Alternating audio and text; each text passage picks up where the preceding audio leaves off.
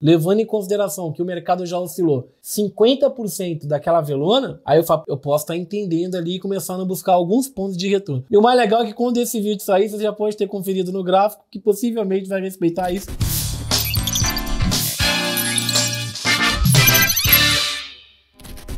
Salve galerinha do meu canal do YouTube, Marcelo Ferreira com vocês. Hoje para variar eu vou falar de Shao SD como sempre. Variando, eu tô falando bastante de Shao SD, né? Shao SD dá muito exemplo e o Shao SD também é aquilo, é onde eu consigo dar talvez os exemplos mais low profile ali, skin game mesmo, tá ligado? Mais reais ali pra vocês. Porque é onde eu tô imerso, né? Operando pra caramba o Shadow do ano passado, desde abril do ano passado ali, no Shaw SD, entendendo tudo que tá rolando, pegando cada pedacinho disso aqui. Então a gente tem um legado no Shaw SD. E essa semana tá acontecendo um padrão bem interessante pra poder compartilhar com vocês. E aí vocês vão levar pro resto da vida, porque esse padrão acontece o tempo todo e depois vocês operando poderão lembrar de tudo isso que eu tô ensinando pra vocês. E aí vocês podem começar a utilizar. É, até porque o que eu tô ensinando aqui nesses vídeos, cara, se você perceber, ainda não tá em livro, entendeu? Não tá em lugar nenhum, até porque eu não escrevi o livro da FiMate ainda, né? Esse é um vídeo exclusivo para você aprender sobre essa técnica, aprender sobre um pouco do dinamismo, principalmente como que você deve levar a semana. A semana já começou, eu tô gravando esse vídeo hoje, é quarta-feira, então já temos aí quatro dias operacionais, né? Porque o domingo o mercado abriu ali, para quem conta o domingo. Então a gente tem a segunda, a terça e a gente está no quarto dia operacional. Então já é quarta-feira. Como que você deve considerar e levar essa quarta? O que, que já deve ser feito? A boa da semana já passou né? Então eu vou compartilhar um pouquinho nesse vídeo aqui de hoje. Beleza? Já deixa o like, compartilha o vídeo, se inscreve no canal e comenta qualquer coisa aqui embaixo. E principalmente se inscreve. É importante se inscrever, a gente está em busca da placa de um milhão aí. Ajuda o Marcelão a bater um milhão de inscritos no YouTube pra gente ganhar essa placa logo. Inscreve aí, beleza? Bom, se é o seguinte, eu deixei a marcação mais ou menos pronta aqui pra quem segue meu canal. Cara, se tá chegando no meu canal agora, não vai entender o que eu vou falar, volta nos vídeos anteriores, principalmente os vídeos longos. Assiste tudo que vai valer muito a pena pra você aprender. É, os vídeos longos é onde eu mais ensino, por isso que eu falo para você assistir os vídeos que tem mais de uma hora, 40 minutos, 50 minutos, é onde literalmente eu enfiei a cabeça no gráfico, entendeu? Então volta lá que você vai entender, em todos os vídeos que eu falei de Shaw SD também, você vai entender essa minha marcação aqui do Shaw SD. Pra quem já segue o canal, a grande legião que segue o canal já sabe muito bem do que eu tô falando. 1879 é a cabeça da vela vermelha, 1762.88 é o rabo da vela vermelha, Medindo essa vela vermelha projetada para baixo, eu falei disso no vídeo anterior, o mercado testou o suporte e aí ele começou a romper. Então aqui abriu no domingo, aqui é a abertura de domingo, tá vendo? Vamos dar uma fatiada aqui só para vocês entenderem. Então o mercado abriu aqui no domingo, ó. Vamos fatiar o gráfico aqui para baixo, 50, ó, 50% aqui, tá vendo, ó? 50%, 50 dos 50, tá? E ele abriu ali perto dos 50 dos 50 dos perto não, né? Em cima. É, perto é apelido, em cima. Ali ele abriu. Em 16, 1661.67. Tá? Vamos deixar ali. Eu fiz outro estudo aqui e tal. Por isso que o número não tá batendo com o do vídeo anterior, porque tá dando uma diferençazinha por causa do canal que eu marquei novamente. Eu limpei o meu canal para vocês entenderem tudo que tá rolando. Ah, então ele abriu aqui embaixo, tá vendo? Cara, aí você. Vamos. A, a, boa da semana foi a que eu postei no vídeo anterior, que foi lá a minha operação que eu fiz, né? Assiste o vídeo anterior aqui. Aquela foi a boa da semana. Então você imagina, a boa da semana já foi, né? A boa da semana veio aqui. Então imagina aqui no domingo, olha onde o mercado abriu no domingo. Aí tem alguns fundamentos que te ajudam a realizar bons trades, né, cara? Que é assim, olhou pro semanal, eu uso muito isso. Eu falei no vídeo anterior, mercado testou suporte, porra, ele a, fechou na vela de alta ainda, né? Não só fechou em suporte, mas fechou na vela de alta e abriu. Eu só ia pensar em venda essa semana se o mercado dessa linha para baixo aqui, tá vendo? De 16,46,71 ali para baixo. Ali que ia falar, não, agora eu vou começar a pensar em venda. Enquanto ele tá ali para cima, não tem por que pensar em, em, venda, entendeu? A gente ia pensar em compra. Eu falei disso na, na, na, na última live né, do YouTube e tal. Então aqui no M15, então vamos voltar aqui agora no M15, tá vendo? Então ele já rompeu ali. Então lá no M15, imagina, você já pegou a boa. Não pode ficar operando nas cegas.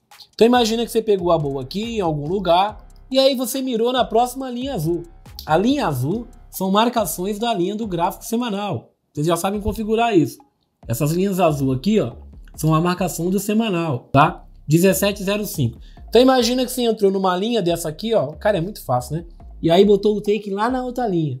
Aí o mercado foi, pau, pegou seu take. Ah, você não pode ficar operando as cegas aqui. Imagina que pegou seu take numa terça-feira, né? Aí, pô, terça-feira, você vai operar de novo? Poxa, se você acredita, pô, você acabou de sair da ordem. Se você acredita por que, que você vai entrar aqui de novo e vai colocar um take lá em cima? Você poderia já ter colocado o take lá e não ter saído da ordem. Então você tem que parar para respirar um pouquinho ali, entendeu? Então imagina, pô, bateu o take, cara. Uf, acabou. Bateu o takezinho. Aí você tem que levar em consideração alguns fundamentos aqui. Por que, que eu não gosto muito de fazer mais de uma ordem por semana. É, não tem nada de errado quem faça. Algumas operações, cara, eu faço. Algumas operações eu faço tipo. É, semana passada eu fiz algumas operações diárias, assim, eu diria, sabe? Abri ordem segunda, terça, abri ordem praticamente quase todo dia. Só sexta que não. Mas o meu normal é abrir uma operação por semana. Esse é o meu normal. De algumas semanas para cá eu tenho aberto um pouco mais para brincar e tal, acompanhar mais o gráfico. E assim, aqui né? Eu não curto abrir uma outra ordem porque aí vai virar um jogo de adivinhação. Porque tem que tomar muito cuidado porque aonde que ele já foi, aonde que ele tá buscando e aonde que ele pode corrigir. Vamos olhar pro gráfico semanal aqui, né? Se você olhar no gráfico semanal, vamos botar que terça-feira ele já chegou rasgando esse 50% aqui. Na terça-feira, ele meio que chega rasgando aqui esse 50%. Aí eu falo assim, porra, ah, vou continuar comprado, vou continuar comprando. Só que entende que a semana começou agora e ele já buscou os 50%. A não ser que você aposte, essa vela aqui aconteceu em maio do ano passado. Essa vela aqui, ó. Ela aconteceu em maio do ano passado. Não, de até agora, né? Outubro de 2022, não tem, não tem nenhuma vela como ela desde o ano passado. Ó. Não tivemos ainda nenhuma vela igual a esse movimento.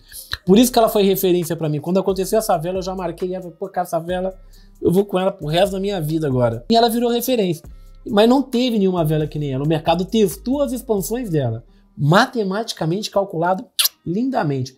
Para cima, para baixo, movimento lindo do Shaw USD sendo testado, vendo? Então ele testou lindamente isso. E né? Aí ele volta agora, tá pra cima dos 50, ponto. Então, terça-feira, porra, já rompeu 50%, cara. É, aí eu paro de pensar em. Eu, o meu normal aqui é não operar mais, parar de pensar em compra. Marcelão, dá pra pensar em venda aí? Depende. Aí que tá. Hoje você pensaria em venda, Marcelão, por que, que eu paro de pensar em compra? Porque se eu continuar pensando em compra, eu tô apostando que a semana vai ser uma dessa aqui, cara. Entendeu? eu tô apostando que a semana vai ser uma dessa aqui. E você pode ver que não é normal ser uma semana como essa. Então, automaticamente, se a gente tá numa semana normal, como foi todas as outras anteriores, tirando essa aqui, que foi a minha referência, porque por ela ter sido diferente, é, não faz mais sentido eu ficar pensando em compra. É por isso que geralmente eu abro uma ordem por semana. Entendeu? Ou, caso eu ciente dos riscos, eu posso começar a buscar algumas operações contra a tendência naquela semana, levando em consideração que o mercado já oscilou 50% daquela velona, aí eu falo, pô, eu posso estar entendendo ali e começando a buscar alguns pontos de retorno. E o mais legal é que quando esse vídeo sair, você já pode ter conferido no gráfico que possivelmente vai respeitar isso. Ou fica reparando, ou vai respeitar o que eu falei agora, ou a gente vai repetir aquela velona vermelha ali, só que agora para verde para cima, né? Aonde tem ponto de retorno aqui?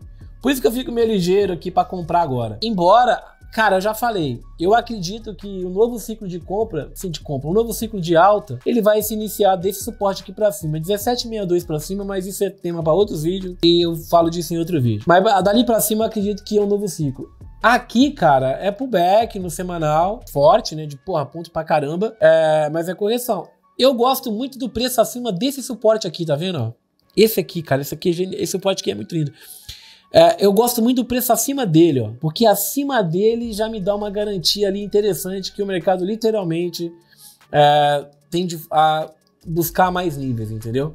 Então o preço se manter para cima dele. Por que, que ele é tão importante, Marcelão? Por causa desse movimento aqui. Porque ele não é só um suporte. Ele é importante por causa desse movimento aqui, ó. Ele testou aqui da última vez que rompeu o, a, o rabo da vela vermelha, né? Quando ele rompeu a segunda vez o rabo da vela vermelha, ele testou pela segunda vez, ó. E quanto mais testado um suporte ali, mais força ele tem, mais sentido ele faz, entendeu? Então quando ele rompeu aqui, cara, ele testou. Aí ele foi lá em cima. Aí ele volta lá embaixo suporte de novo. E ele foi lá embaixo. Esse movimento aqui jogou o mercado para baixo na máxima da expansão, que é o a máxima da expansão é o limite máximo que a gente acredita que o preço pode ir. Imagina, o mercado tá, o preço está caindo. O preço está 10, tá 9, tá 8. Se eu consigo calcular o canal, como a gente tem tudo calculadinho aqui o canal, ó, eu consigo entender aonde que, até onde aquele preço vai cair. Ah, ele vai chegar no 3 ali e vai voltar a subir, entendeu? Então, eu usei isso muito com o euro dólar, né? O euro contra o dólar de 2014 até hoje, por exemplo. Aqui, basicamente, quando ele bate nesse suporte, ele retorna para cima desse movimento aqui, que era uma referência, é uma linha do Equador forte, uma linha do Equador absurdamente legal, a gente acredita no ciclo de alta. Então, o preço se mantendo para cima dela, eu acredito em ciclos de alta aí. É, para as próximas semanas. Mas a gente vai falar disso no Instagram, no YouTube, então segue no Instagram também. Aqui, ó, Então vamos lá. Então tem uma expansão aqui. Eu vou tirar essa aqui de baixo, que não importa agora o preço. Porque o preço, né, cara? O preço já passou, entendeu? Dos 50%. Quando vocês podem perceber, então não tem por que me preocupar pra cá. Então o que, que eu faço agora? Eu vou dar uma fatiada aqui, ó. Joguei pra cima. Vou medir uma linha agora pra cima, ó. 50% e 50 do 50. Pronto, 50%. E aqui o 50 do 50. Ok, perfeito. Aí que tá. Agora as linhas do Equador são o seguinte, né? Você já pegou, imagina que, pô, é quarta-feira hoje. Hoje é quarta. Por isso que eu tiro a mão e falo, ah, peguei um trade ali, possivelmente eu não entro mais agora. Porque essa operação aqui agora é um pouquinho mais complicado. Qualquer região dessa aqui fica mais arriscado você comprar, porque a gente não sabe o tamanho dessa vela verde essa semana. E já subiu pra caramba. Mas ali tem pontos de retorno, tá vendo? Olha isso no M15, meu irmão. Sério, tá doido. Ó, olha isso no M15, cara. Que coisa linda, ó. Qual que é o meu padrão de M15? Canal de referência. Olha no M15, bateu certinho na linha. Canal de referência. Zona neutra pra baixo. Play, play, play aqui, ó. Entrou, né? E o mercado vem caindo. Só que aí agora né, ele tá voltando para cima. É aquilo, é o quadro de aceitação, ó. Mas ele foi testado. Eu, particularmente, esse é o tipo de operação que eu não faço muito. É errado fazer ela? Não, não é errado fazer, mas eu não curto, cara. Eu não curto fazer esse tipo de operação aqui porque fazendo esse tipo de operação, a gente tá sempre apostando aqui, ó, no pullback, mano. Que ele vai bater na linha e vai voltar dois níveis. Na grande maioria das vezes é gol. Mas é um tipo de operação que eu não gosto. Então o que, que eu gosto de fazer aqui? Pô, quarta-feira, primeiro, Amanhã é quinta. Sexta-feira é o dia que eu não opero. Então, se ele não tiver mais favorável, eu vou evitando. Mas, por exemplo, eu posso mapear aqui, ó, regiões de onde eu vou começar a pensar em venda. E aí, como é que você faz isso? Você olha para esse gráfico aqui, ó, não tem esse suporte importante que eu acabei de falar com vocês aqui, ó. Olha esse suporte importante aqui, ó. Tá vendo? Tá vendo ele, ó?